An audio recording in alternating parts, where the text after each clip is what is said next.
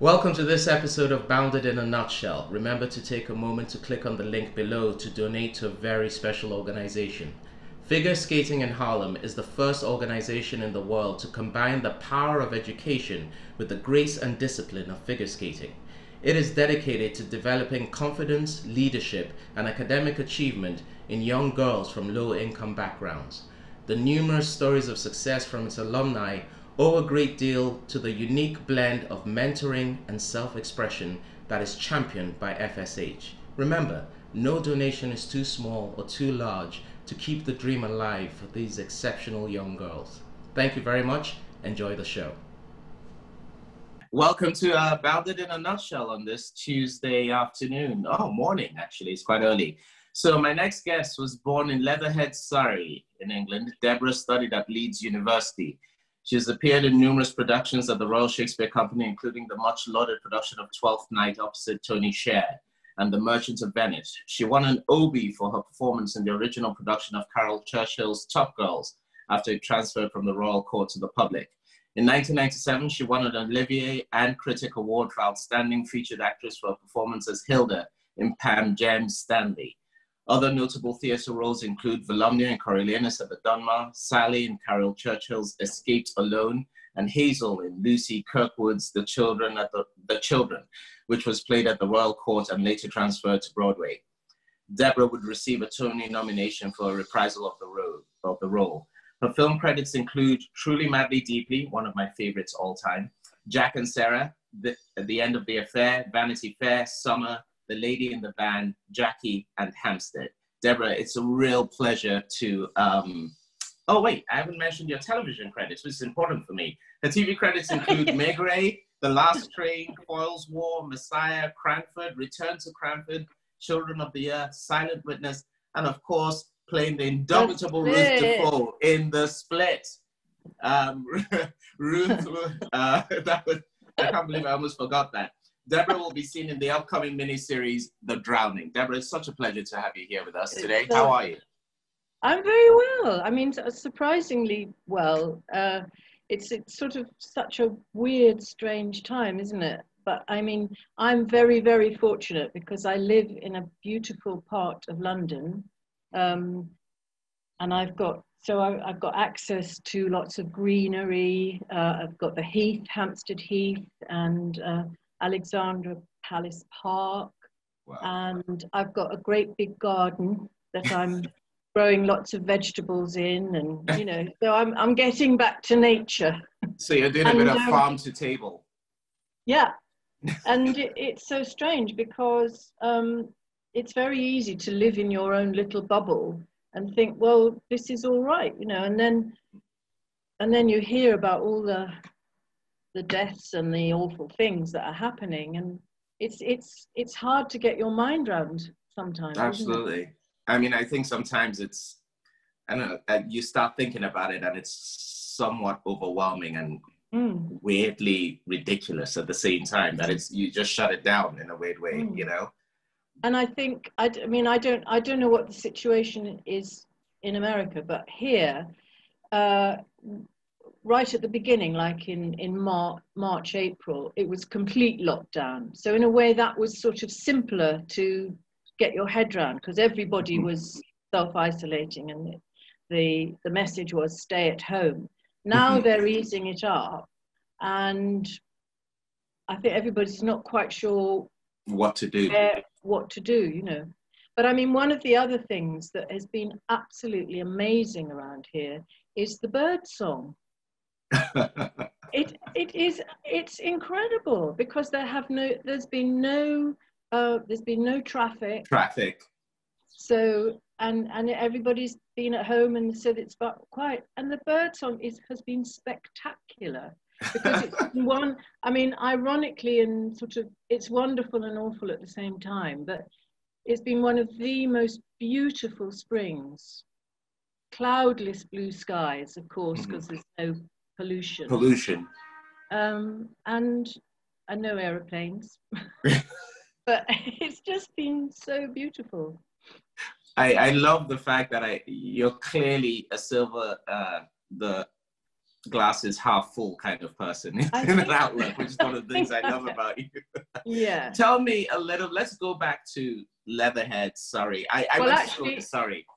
I right. went to school sorry in Caterham, so I, I I love that part of England a great deal. Tell us how. What was the journey? Um, from Deborah, young Deborah in Leatherhead to. Well, I don't Deborah. quite know where you've got Leatherhead. It wasn't Leatherhead.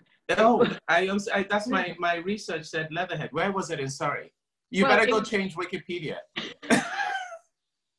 Where was it then? Never, I never look at any of that stuff. So oh, I, okay. Um, no, it was. I was born in a in a village called Cheam, which was okay. in Surrey. But it's the yes. same. It's the same area. Yeah. Right. Um, and uh, close to Leatherhead. Ish. All right, tell us about that. Where come from? But it doesn't really matter, does it? It it, it, it was a it was a, a suburban upbringing, south south south of London. You know, mm-hmm. it wasn't London; it was a village near London, and um, yeah, it was a small small little village. Uh, and I mean, I suppose one of the things that uh, we did, my whole family was involved in at the Amateur Dramatic Society of Cheam, which is my little village. Yeah. And we were all involved in St Dunstan's Young Players. Oh my God, I know St. Dunstan's. We used to play them at rugby. One of the few Did games you? we would win. Yeah, Caterham used to play St. Dunstan's at rugby. Yeah. Oh, that's why we get along so well. So well. yeah, go on. So. Um, yeah. So yeah. So uh, my my mother used to make all the costumes, and um, my father used to do all the tickets, and my sister she she uh, she was in the she was in the plays. She didn't much like it, but I loved it. I joined when I was seven, and I, I played the, my first role on stage was uh, in Alice in Wonderland, and I played Alice when she shrank. so you had to shrink, pretend you. Well, shrank. I was the, the was shrunken. The, the, yes, the actor playing Alice for the rest of the play, and then. I came sort of just for a brief moment. I was her when she shrank, but yeah. that was my that was my first role, and um, I loved it. But I think the other thing that I uh, that started me, I don't know, where where do where do we all start? I think I've always been, I've always made believe. I, have always lived in a sort of make believe world. When I was little, it was uh, I would just I loved dressing up. I loved um, you know whenever I was doing something, I was I was pretending it was something else do you know what I mean? Yeah, yeah. Um, I just lived in a make believe world. And I think that's where my acting came from. I mean, I, we didn't we didn't go to the theatre um, as such much to see anything. So it wasn't it wasn't some you know it wasn't a question of seeing something on stage and wanting to be on it. yeah. Know? It was yeah. much more this whole thing of pretending and make believe. That's where that's where I came from. And uh, uh, yeah, so I, I um, but it so I was in St Dunstan's Young Players, but when we when when I you know when I got to about thirteen or something, I you there was there was St Dunstan's Players. You, you sort of you went on that and I didn't like them because I found them very, you know, they were all all the elements I felt of the worst sort of actor. you know what I mean? Yeah, I absolutely know what you mean. Yeah. and I didn't like that, so I didn't do that, and and I um, uh, and I didn't really start acting again until I, I went to university in Leeds and. Um, that was extraordinary. That was sort of a whole other world because it was a very, very far cry from the little village in village. Leeds is, is just life. one of the most exciting universities in England still. I remember Leeds it was is. It was high on everyone's list if you wanted to have a great education and have a great time. You know, Leeds, yeah. Newcastle, Leeds, Newcastle, Nottingham, sort of had Manchester had that reputation, didn't yeah. they? the red yeah. grip. Yeah, yeah, yeah, yeah. It was, yeah. It was fantastic, and mm-hmm. um, I, I, I got to know a whole group of people, and we actually, we actually stayed on in Leeds afterwards, and we formed our own theatre group, mm-hmm. and um, and we, yeah, we put on plays, and we sort of, it seemed to attract people from from other other towns, other other places, and they came and they had their own experiences and and um, knowledge of theatre. So it it was a sort of a workshop that we we created ourselves, um, and we yeah we so we people wrote the plays and we put them on and I mean it was a time when it was sort of possible to do that. There was a lot mm-hmm. there there seemed to be a lot of grants and also there were in in in England there were um, there were a lot more regional theatres, so there, there mm-hmm. was the, there was the possibility of touring and and having these uh, yeah creating our tours, and we did a rock we did a couple of rock operas, and uh, we did, did yeah. and um, yeah, so it was it was just great, uh, so, and it was but it was it wasn't it was it was all sort of based on street theatre, mm. street theatre and um, dramascapes, and you know it was. And I think we the, the, this group sort of felt that um, sort of traditional, conventional theatre in a building was that's not what we wanted to do. We were sort of more wow. cutting edge or something. It's just stupid. Yes. yeah. but yeah. um, but finally, uh, that all for, for various reasons that that that group came to an end and i but, but from all the experience that i i had had uh, in leeds i got a job down in um, in london in Strat, at stratford east mm-hmm. and which was another fantastic theatre. yeah. Uh, and that was a community it was it was to, to be in a community show there but then they asked me to, to join the company proper. And uh, so i did and i spent two years there and that was fantastic because that was um, that was uh, all the plays were new new writing so we, we would be playing one one play in the evening and one and, and rehearsing one play in the in the day Mm-hmm. It was just, and that was all, yes, it was all different sorts of plays about everything. So what I've done, you can sort of see what I've done, I, and I didn't go to drama school because mm-hmm. I didn't really know. That's interesting. Was that was that a was that a, a, back then? Was that a problem not going to drama school, or what was it? Did most people was it? it's such i mean what was the conversation around drama school versus non-drama school in your in your well process? um you see that that i think i i was as i remember i think for a start i never thought you know my family i didn't know anybody in my family who had who had been an actor or had had anything to do with the theatre, apart from the mm-hmm. amateur dramatic sort of stuff. Um, and so, so to go to drama school seemed a bit a non-starter, you know. I yeah. didn't think it was sort of feasible, really. Yeah. Um, and but also I'd heard, and this I don't know what because you, you can tell me but I'd heard that uh, you know if you go to if you went to drama school, they they break you down and then they build you back up. Yeah, that's that's. The, and I didn't the... want to. I didn't want to be broken down.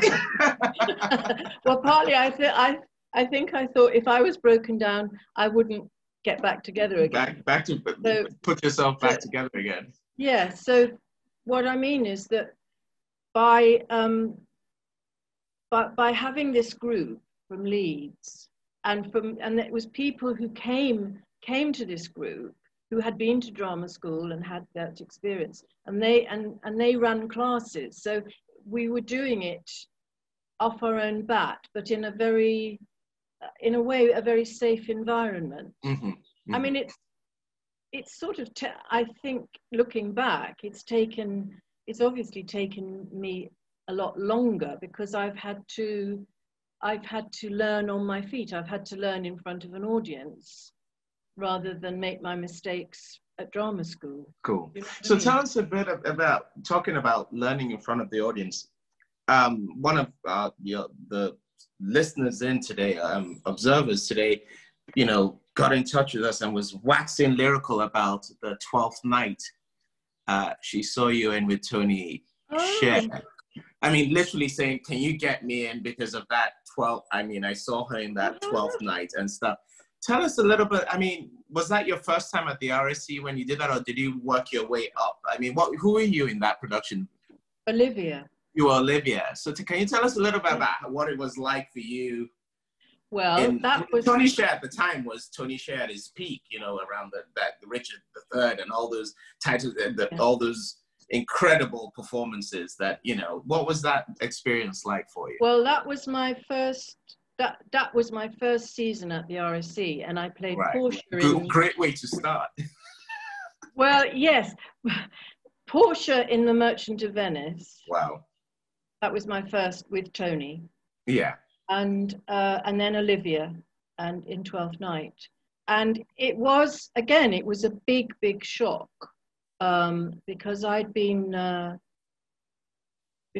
up to then I'd been, you know, I'd been, as I say, I'd been doing all of the stuff with my group, then then the Stratford East, and then I'd played uh, at the Royal Court, and but but sort of quite fringy type, Yes.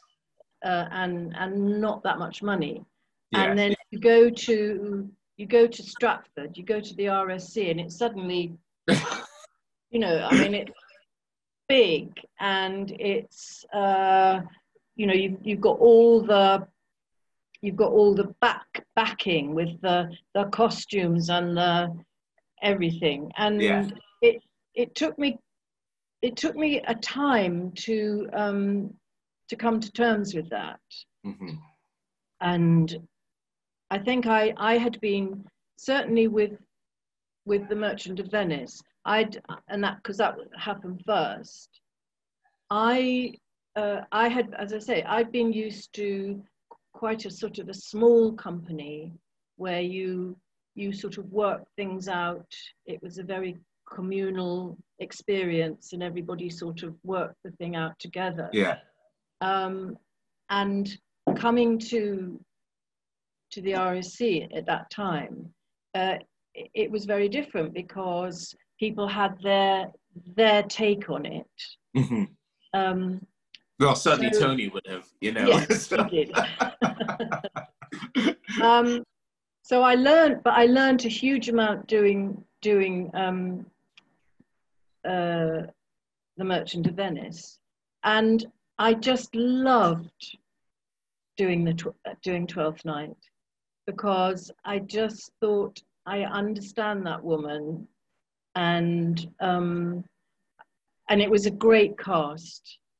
It was Mhm. just just lovely, uh, and I'd I'd sort of by then I'd got the measure of of of this company and how to approach it, and I I'd sort of I came I came to the I think I came to the production with a very clear idea of what I wanted to do with Olivia.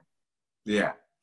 Tell me a little bit because there's going to be some people watching and stuff like that. Because, I mean, certainly at the RSC, I remember going there my first, you know, I mean, it was incredible. My, but my first few weeks was uh, speech uh, and verse with John Barton and with Cicely Berry. I mean, that technical side. And from what you said, you didn't come from a very technical side. You came from a very earthy royal court kitchen sink, you know, whatever Yeah.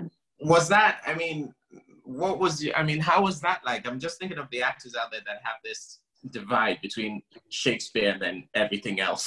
you know, Yeah. what was that like for you coming to the RSC with that? And how did Well, you I- adapt that into your acting? What did you bring to it, you know?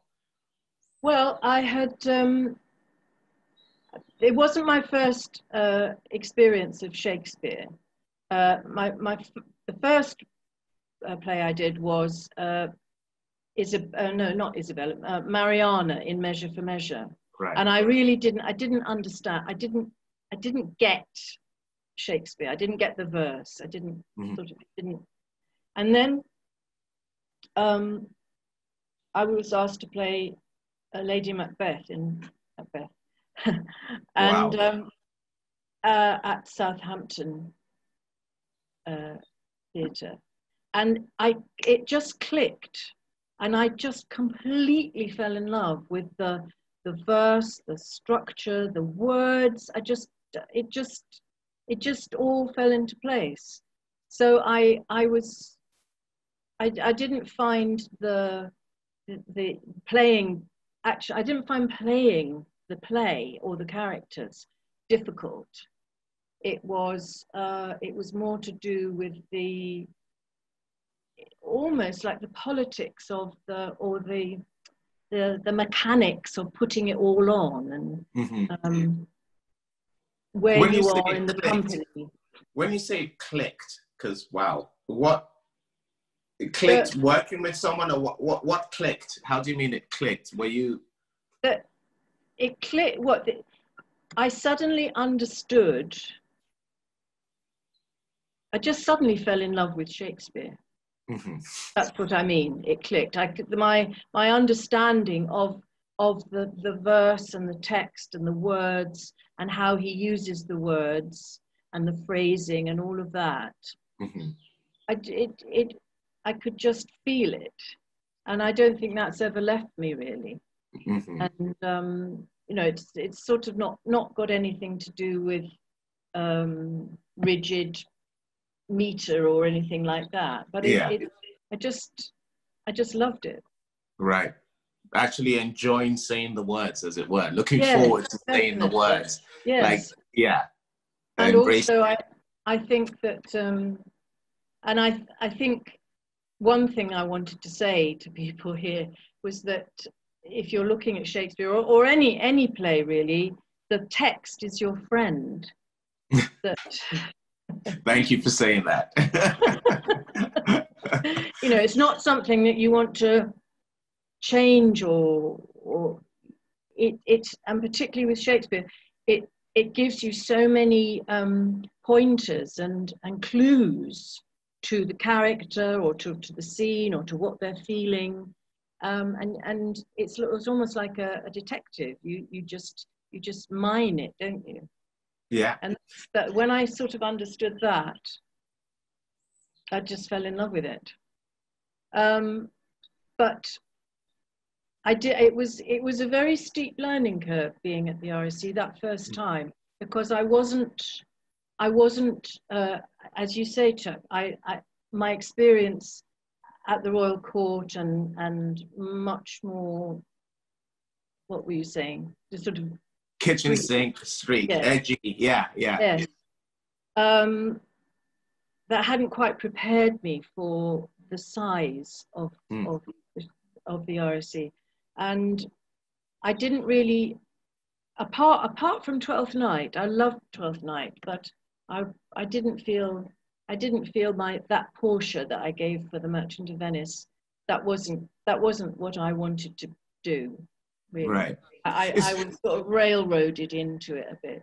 But um but subsequently but you know I, I learned an immense amount hmm um from that from the time of, of being there. And also We kind of all we kind of all have performances, don't we? If we're gonna be honest, that you just go. It's not so much that you necessarily want another crack at them, although that is often the case, where you just think, I didn't, I didn't own that. I, I sort of did it, Mm, and it was fine. But I never thought, what do I want to, what do I want to mm. bring to it. You know, I, I fit into the cog, and you, it's always with a bit of regret. You sit back and go, there wasn't a moment where you just stopped mm. and and had a conversation with yourself as to what you wanted to do. It wasn't that it was bad or anything like that. You just knew there was. I I, I always come back to my first uh, big role at the RSC, which was um, Aufidius in Coriolanus. And oh. it was it was good. It was it was great, and it was opposite the wonderful Greg Hicks, who's a dear friend. And I, I it was fine. I enjoyed it. It, it, it. People enjoyed it. But I remember afterwards, years later, as I started doing more stuff and just going, I never once stopped. I was so locked into the language and clarity and doing this scene, the way it's been directed, that it, I never remember taking the breath for myself. I don't know if that's similar to what you're thinking, you know? Um, well, I think, um, oh, I, am not sure. I, well, yeah, with with the um, with the Merchant of Venice, it's a very it's a problematic play. It's a problem yeah. play, and um, and both Tony and the director Bill Alexander had mm. a very particular take on take. it, which was very to do concerned with Shylock. Mm-hmm. Uh, and it was it was Tony playing Shylock. So. Yeah, yeah. and it was my and it was my first first go in a big company, you know. Yeah. And if I had gone back several years later, I would have fought a lot harder for Portia's take on on that play. Mm-hmm. Um, and probably it would have been a better production mm. because there this, would have that there would have been that um, you know conflict. coming together and conflict. Yeah. But and that that's what I regret. Um, Is that and that but that's what... I learned, and that's and you know I mean there's always a balance, isn't there?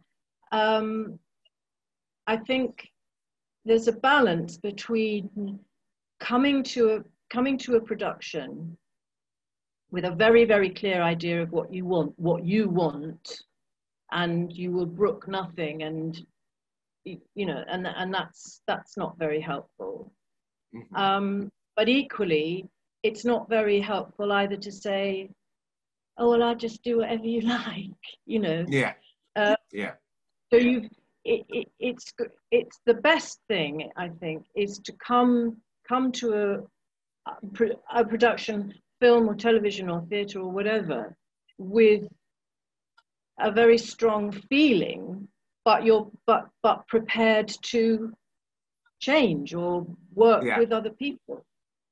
Right. So was that part of that experience? Did that inform some of your uh, ideas and and and and um, views when you came to lending your voice to clamorous voices the book clamorous voices there, there was a collection of women speaking about shakespearean roles and stuff and you you know you i i have here that you were one of the people included in the book i was going to ask you about that book because a lot of people read it. You didn't lend your voice to any of the. I I did which, um, players of Shakespeare. Right. I wrote. I wrote. Tell us about that. Wrote, you wrote that. Okay, tell us about. I that. wrote Maybe a lot, a, a, big, a big piece about about about um, the. Merchant of Venice. Yes. No, it wasn't and women. What, it was well, it was about the Merchant of Venice, and basically, I, that's I, I was saying in that in that essay what I've just said that I felt mm-hmm. I felt that um, I didn't uh, that Portia is a wonderful wonderful role a wonderful character and quite often um, she's sort of sidelined by uh, by Shylock and mm-hmm. actually it, it's it's a really really wonderful important role and i think she's a fabulous she's a fabulous heroine and i would okay like well is that that that view and stuff i mean let's go back to top girls you know mm. and you know recently listed as one of the 15 greatest plays ever written you know caryl yeah. churchill's top girls and you were in that cast which is about empowering women and women in a in the new world how we see them and stuff how how i mean that of course that brought you a lot of success with that role but i'm guessing that role really spoke to you playing doing a project like that? Joyce. Yes. Playing Joyce. Yes. Yes. I mean, it was wonderful. Uh, I, I, I wasn't I wasn't quite sure. It's funny, isn't it? When when you when when you're in something a, a new play, you don't you don't know if it's going to work or not. Mhm. Um, and I don't think any of us really were sure sure quite how powerful and wonderful it, it was going to be. Um, and I, I mean, I want, I wanted to play Joyce. she was a long, she was quite far away from me, Mhm. um, but I thought she was fantastic, a fantastic character. But all of them were, and Mhm. I, I mean, I, I loved, I loved playing because when I did it, uh, it was it was with a smaller group. Recently, it's been done again Yes. at, at the National with I think about fourteen or so people, women in it, and each Mhm. playing individual parts. But I played three parts. Uh, Mhm. We were all doubling up, apart Yeah. from um, the woman who played Marlene, who who went all the way through. You know? right through. yeah um but i just i felt i felt that there was that made it a quite a, a, a well it just it was a co- very cohesive group of people to work with you know because there was just seven of us seven or eight Yeah. of us and that Yeah. um, and oh it was wonderful and i mean the uh, the scene at the end between the two two sisters Mhm. it's just one of the best best written scenes. Is that something you sort of look? I mean, let's. I mean, I saw you in um, the chill. Apart from working with you, obviously, you know, uh, saw you in the children, which had its own um, take on on environmental issues and and family also, and and all Mm. that. Are you, when you pick your roles in theater, I mean. Are, are those sort of bigger issues? I mean, like we said, you know, are they are they a big part of your decision? Are you do you go after plays that have, as it were, that sort of universal or political takes on life and stuff? I mean, what do you, or do you just go with what you think? Oh, that would be a juicy role, you know? Well, i think it's a bit of both. I think Yeah. um, I I I read when I when I'm given a script. I read it first, and if it's if it grabs me, I mean, all of those all of those plays that we've been talking about, they they were just such fantastic plays um, and issues and things, and also the roles were wonderful. Mhm. so that that but i think i think i look for something that i would be interested in seeing and i would be interested in working on. Yeah, i mean i think i think one of the things um, with with theatre is that you you're going to st- you've got to realize that you're going to live with it for quite a few weeks or months. So so it's best to be to be stimulated and interested by it yeah, um, and and also I think I look for a character that that has got a storyline that has that that is and is that is germane to to the the whole story, but has Right. also got their particular story. I Mm. think it's just it's just to keep yourself interested, isn't it? Absolutely. I have a very short shelf life of interest. it's really important. it's really important to have that. So let's move specifically to okay. The first time I met you was on the set of the Split, and I just love the dynamic we have, uh, our Mm. characters together. But one thing I really loved about your acting was was it it's it's um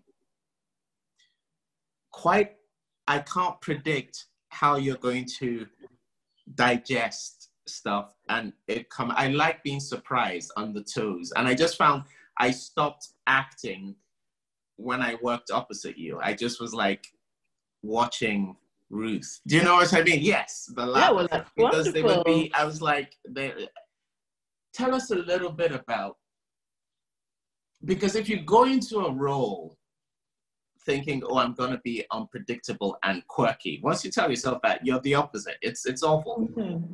Yeah, but there must be something about the way you. I mean, my producer Michelle will tell you you're like a favorite. You know, she saw the split and was like fell in love because of that unpredictability and stuff.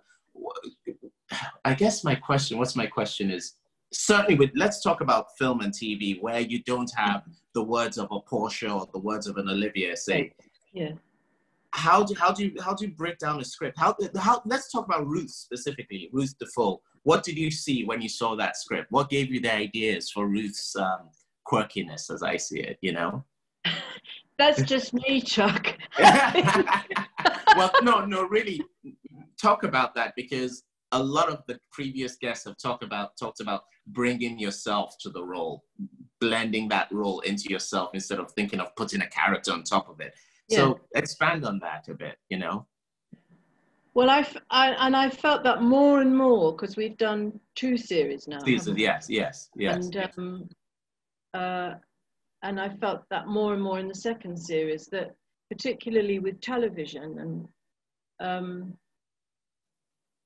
in a way, you're,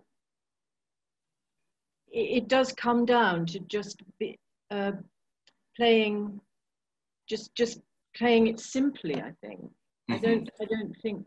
I mean, well, I, when I, I love. I, I mean, I was re- so excited about reading the script for for the split.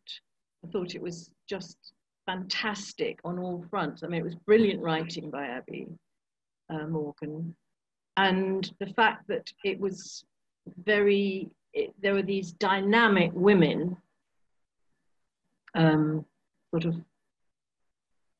center stage, which isn't mm-hmm. usual, is it? Um, no. And that's that was very very exciting.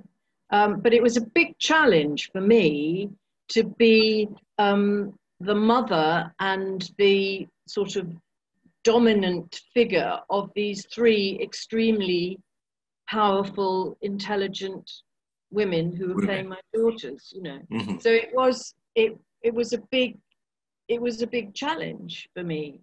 Um, and and in the end, I suppose what you have to do is to, as I said before, you have to trust the writing mm-hmm. um, and think, well, yes, I I am, I am a powerful woman. mm-hmm.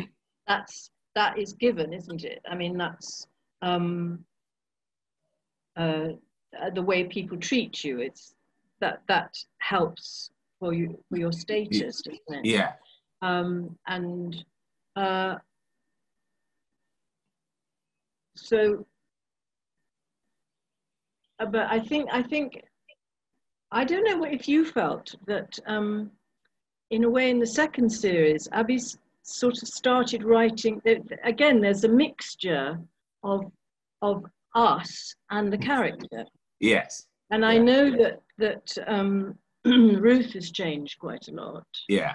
And in a way, I think I think Zander has. Zander has changed a lot. Yes. Yeah. It helps when you have a writer that sits back and doesn't give the full story and watches what you bring to it.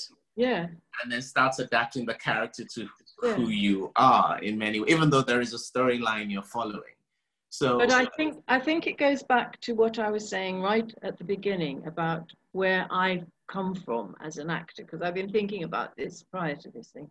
Great. But, um that it's it's make believe, it's playing, it's playing. So that's what I love. Um, and I love the, I, I think the, the energy and the life happens between, it's somewhere in, in, in the, the connection between the two actors. Mm-hmm. Um, and so I'm as I'm I'm as bound up with you playing, you know, in our scene as you are with me. I mm-hmm. I don't so I'm responding to you and you're responding to me. And that's that's the best. Yes. I think. I think when you get two two people who who like to play with each other. Absolutely. That's, that's the best. It's funny how that is weird. It almost seems obvious or whatever, but it, it I know in my experience it's really helped when when you like you put it, you like to play with this person. You're looking forward to the scenes with this person, and somehow all the technical things go out the window. And I, I guess it's sort of like a looking for the trust with each other. Do you know what I mean? And mm. once you've found it, you know it's there. And mm. all those lessons you sort of learn about acting, about letting go and breathing and being in, they sort of take care of themselves because you, you kind of trust the person. So I just wonder whether mm. that's. Yes, is, and I mean, I, of, yeah, go on. I think when I, again, because I I was learning, but I I was going to say I was learning on my feet, but then I don't think when I would have gone to drama school that there was that much um, teaching about film technique. I don't know if there is now, but um, but you know you, the, the, old thing of uh, if you're if you're on camera, you don't you don't move your mouth and you're sort of like that, and, and that's that's such a rubbish because where's the energy? There's no, there's nothing. So yeah. I sort of I've got I've got more confident uh, in um, in acting in front of a camera just to be and not not mind what my face does. Yeah, yeah. Well, there was a really interesting quote I saw. I think it was might have been Meryl Streep or something saying that um, you you you should never worry about the last thing you should worry about is what your face is doing. Mm. Is you should just be worried about what's going on inside, what you're thinking, and yeah. whatever. Leave your face alone. And I think that's one of the dangers I had with the camera is like, oh, there's a camera. I have to now be very aware of when my eye goes there, or how wide my eyes are, when I speak, you know, those things. And so it's it's it's and then you don't leave space for the stuff on the inside, you know. Yeah, definitely. Yeah, and stuff. So, um, do you have a preference? I mean, right now, because what I thought was fascinating was meeting you, this humility you brought to the whole process of there's this incredible resume of work you've done over the years and stuff, and yet on set for this, it was still all rather exciting. you know what I mean? And and new. But well, yes, I I I do, and I think again that goes back to how I started out because yeah. um, you know every job was a learning. There's something to learn. There was something to learn, and there still is. And I will never yeah. I'll never stop doing that. So every job is you learn something new. I mean, you you you bring something. Yeah. Um, but uh, and and other people have had experiences that you can learn from, and you would be, yeah. I think, you would be foolish not to listen and to be open to that sort of, um, yeah, yeah, knowledge and um, you know, and you know, I mean, I've as well, like I've been, uh, I've, I've done, a, uh, you must have done as well. I've done quite a few workshops, mm-hmm. and I like doing those as well because yes. it just, it's just interesting. Mm-hmm. I mean, I, it, my my father, he was a reporter on a local paper, the Surrey Comet, and he said, and he was a great great role model for me because he said uh, do something that makes you happy because don't do something for money. Do something that makes you happy. And that's what I've done. And I think if you can, I mean, we are hugely privileged, aren't we? Yes, yes, yes. Or we have been. I don't know quite what's going to What's going to happen? we'll, do, we'll be doing a lot more workshops on Zoom. Uh, can, can I ask this question? Because I asked it for every guest. It's probably my only uh, question I ask everyone. I uh, um, and my guests are getting sick of it, but it's the albums in a picture question. You know, is in an album, everyone you only post up the happy pictures. This is when we were here, and this is what. But there's all those gaps in the middle that lead to that happiness, the work that has to be done, and the disappointment and the the bad times. We don't put the pictures of the bad times in the album. You know, have there been moments like that in your life, like long stretches of not knowing what was coming next? How did you get through them? Uh, how do, how do you look in the mirror in the morning and keep saying, I still want to do this till the next bulb goes off? Do you know what I mean? I do. Um, well, uh, a friend of mine said, uh, when you're out of work, look on it as the time you have to do all the things you can't do when you're working. So that's that's sort of quite a good mantra. Yeah. So, uh, um, but I have, yeah, I have had, I have had times, quite long times out of work because I, I've, I, I've turned quite a lot of stuff down in my day. Um, mm-hmm. But, and some things I regret having turned down, but I'm not going to tell you. but, um, but um, yes, but you just, it's never got to a point it's never got to a point where I thought I'm going to do something else. Um, I've it's I've always had another job. Yeah. Uh, uh, and um, I don't. What what you what are you saying? So you're asking you're asking how I cope with being out of work. Oh, not just out of work, but just um, work is intertwined in our lives also in the moments where it's been hard to uh, be happy or stay positive and and when you know a lot of that sadly when you're an artist has to do with your work with your you know with the, the work you're doing and i just wondered how you get yourself through those moments of incredible doubt incredible fear incredible second guessing um, and how you've you've managed to stay on track you know um, oh, Chuck, I don't. Um,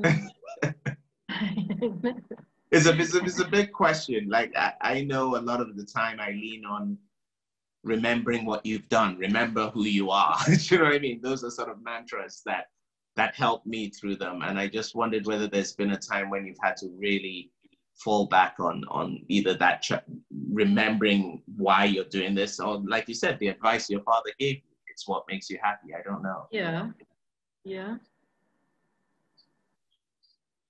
i mean i i think i think possibly at the back of my mind not now but at mm-hmm. the back of my mind there was a time where i thought well if this doesn't work i'm going to i'll do something else yeah um but uh and I did I did have a, I, I I did have a, a, an, an envelope, a, a, sort of a thing, a folder or something um, of nice letters that people had written me. letters that give confidence. Yes. Um, because because particularly doing and particularly doing theatre, which is such a transitory thing, uh, it's it's hard sometimes to uh, mm-hmm. to keep hold of that, isn't it? Yes. It's only we we only do it, and then we live in people's memories. Yeah. That's that's part of it. I mean, I never that the other thing that I thought when I was sort of coming to the end of university and thinking what I wanted to do, I thought I don't I don't want to I don't want to do something that I know what I'm going to be doing in five years' time. Wow.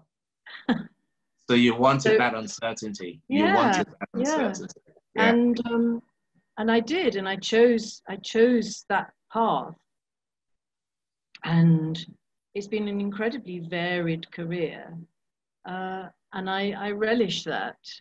Um, doing all sorts of different different mediums and singing and any, anything and radio and all of that sort of stuff. Um, but but I had to say I had to say to myself, well, you chose you chose that life. You chose to be with with with the uncertainty, which is very exciting and and always keeps you guessing. And you never know. I mean, I never know what's going to come up. Yeah. That's what I like. When, you know, when, but all, to, together with that, which is the, the good side, you also have to take on the bad side of saying, well, okay, sometimes there won't be anything. Yeah. Yeah. Get over it. Yeah. And I think I think I have hopefully got, gotten over it. I remember, I, I remember a dear friend of mine, um, his mom is my brother from another mother. His mother is a therapist, and I remember there was a, I was going through a bit of a rough spell when I first moved to the States, and I went to visit them uh, in Cleveland, and, and she sat me in her office, and she says, "So what's going on?" And I, I didn't know where the next job was coming. I hadn't worked in a while, and I said, well, you know, I, I did this job and it's finished. Now I don't know what's going to happen and all, you know, and I'm a bit nervous. And she goes, okay, so let me get this straight. So you were working, having a great time. The job ended. And now you're waiting for the next job. And I said, yes. And she looks at me and she goes, what's changed? And she's right. That's exact. That's the cycle. You know, the, the you know, that's the cycle that it is. She just looked at me and says, so what's changed from the last 15 years that I've known you acting, you know, and I found that very moving. Anyway, Deborah, we must move on to questions from some of the viewers today. Oh. Um, uh, so the, Michelle will give us a couple of questions through a bit of bring back your improv skills. Time to answer things on this. All right, go for it.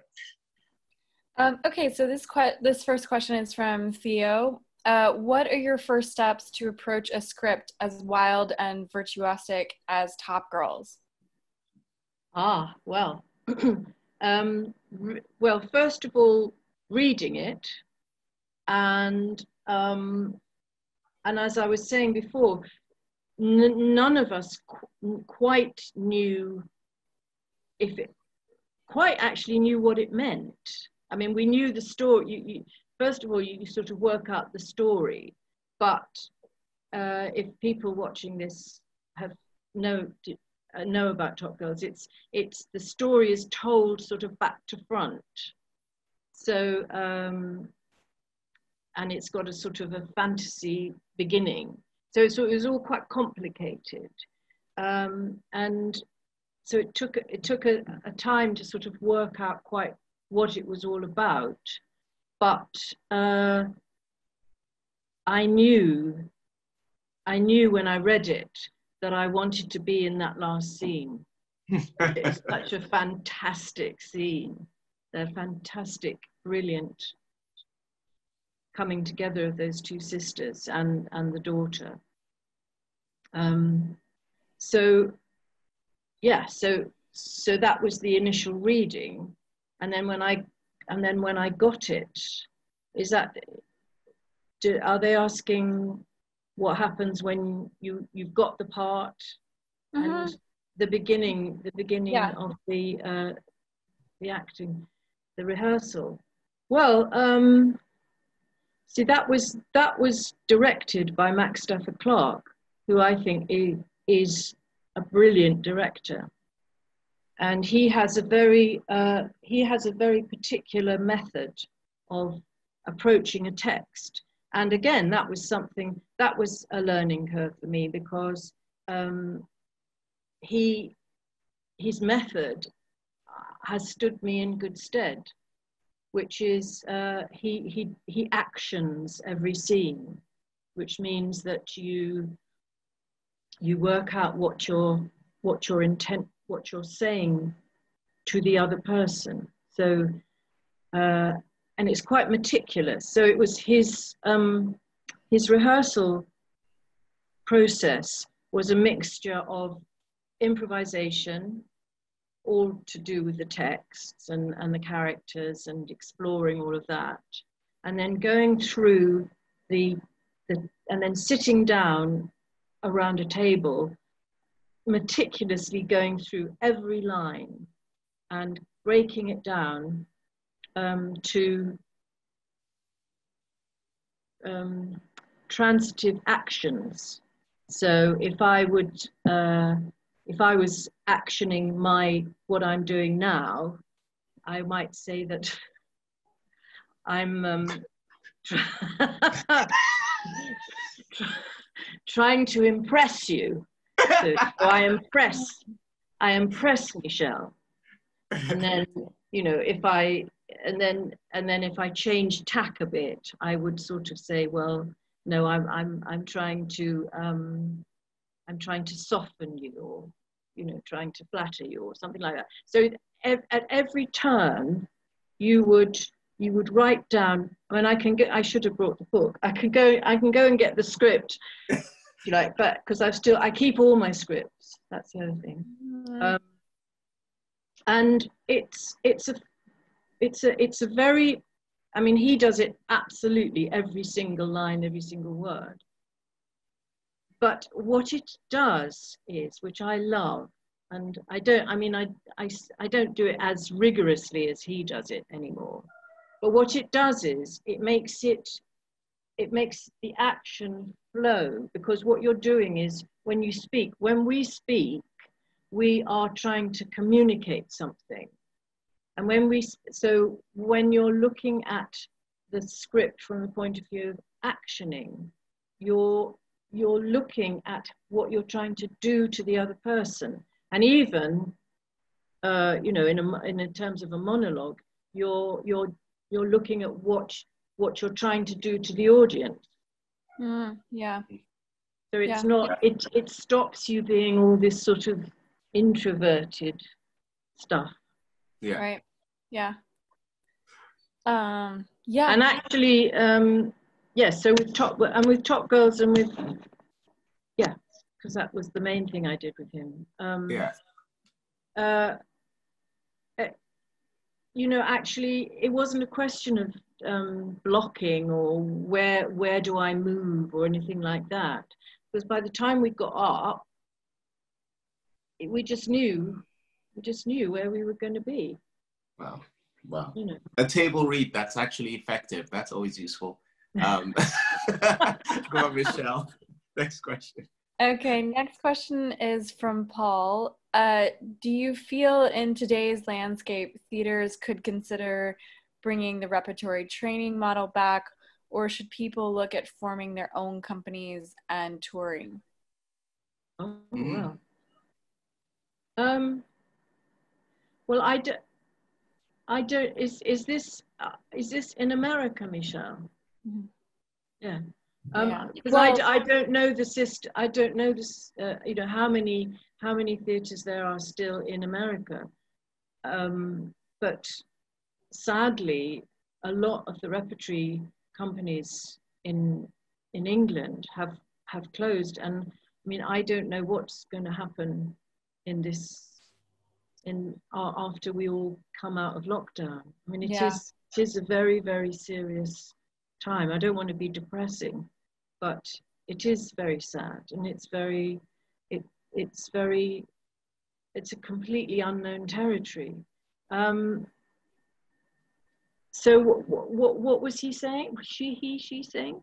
He was saying that does it make sense to bring back the repertory training model, or does it make more sense to sort of work on forming your own theater company or doing touring kind of work? Well, I think ev- anything Mm, really. yeah. I mean, anything that anything that works, anything that's going. And as I say, we took this is years and years and years ago. We took we took plays round to theatres that were in existence um, and art centres and things, but they were also doing their own shows. Mhm. Uh, it's j- as I say, I think it's not an either or. It's Mm. just whatever whatever you can, whatever you how whatever form you can do it in. Just try and do something. And I think I mean I I've been thinking about this that uh, in a way this this whole process that we're doing now and and the, what we might be doing on next Saturday is is fascinating because this might be the form that theatre has to take in Right. the in the immediate future and. I think it's quite it's it's interesting to um, to see how how we can use this form and to, to, to greater effect. I mean, I was just watching. I'm going off point a bit, but um, no, go on. uh, I was just watching Andrew Scott. Do you know him? Mhm. Oh yeah, Yeah, I love yeah, him. yeah. Oh, he's, And he's, have seen he's very ha- popular over here. Have you seen Sea Wall? I have I've seen the public did Sea Wall over here, which I saw with Jake Gyllenhaal and I don't. No, I think this is this is something. uh, It's another thing. It's another Okay. play. It's a little monologue. Yeah. I think it- it's the same. I think it's the same because it came from the UK. Oh right, Yeah. All right. Okay. Well, he he's he did one. He's just done. They they filmed it. Okay. It was a twenty minute thing, Yeah. and um, he did it. They filmed it, hmm and it's been on. It's just been on uh, YouTube for the last week. I think it's finished. I I think sadly it finished yesterday. Oh no. Yes, it was, but as a masterclass of, of how to present something on screen, Yeah. it, it was just extraordinary. So, it, and that was exciting to see. Um, I mean, it was a monologue, so I don't, I don't know how you do quite um, plays between with more than one person, but Great. All right, maybe one more question there, or, Oh, or yeah. maybe two. Tell me. Um, let, let's go for two. Um, just because we started just a little bit late. Um, uh, let's see. Uh, this question is from Anne. What do you do uh, to enjoy in your downtime that makes your makes you a richer human? Mm. Well, I mostly what I do is gardening because I have got the most beautiful garden. I've got an 80 foot garden. Oh wow. It's a big garden, and it's at the moment. I wish I could show you Yeah. because it's full of roses, full, full, full of roses and peonies and wallflowers and sweet williams and oh, it's just so beautiful. Um, and also vegetables. I've got a vegetable patch halfway down. And it's just gorgeous. So that's that's what I do a lot. And What vegetables do you have in there right now? what have I got? I've Yeah. got um, runner beans. I've got um, French beans. I've got chard and broccoli and spinach. You don't even need to go to like Waitrose or anything. well, yeah, I know. What? Yes, but I've also got very nice shops down the road. All right, So that gives me great. That gives me great. Um, makes me very happy. We've heard that from a few other actors as well too. That gardening, um, I think it Yes. sort of allows you not to be on your phone or technology and like Yes. focus. and you can like you can completely you just you just go into you you start well what i do is i just you know i start off doing a little bit there Yeah. and then three hours later i'm somewhere else and i yeah it's fantastic that. Okay, well, last question. Um, this is going to be my question, but you've said that you know you've turned down a lot of roles before, and Hmm. what have often been the reasons that you've decided not to take something? Um, well, lots of re- lots of different reasons, and the ones I think the ones that, that I could I could say not because I'm not going to tell you which ones because other people did done them and you know so that's no point.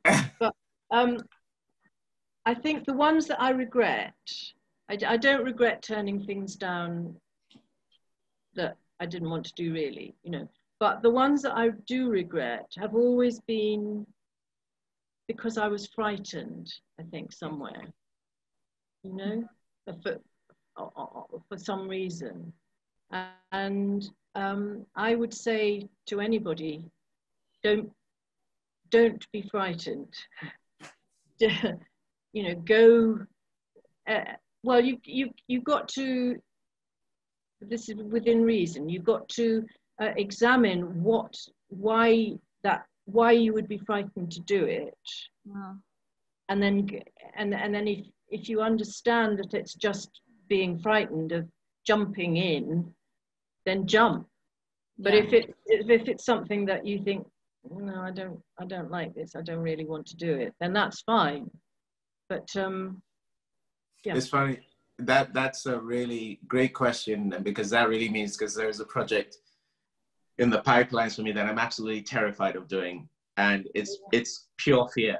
It's pure it's pure fear because of where it will ask me to go, but I'm absolutely certain I have to do it. And this is so weird that you're talking about this because this is completely nailed it in the head that there's no question I have to do it because it's all fear.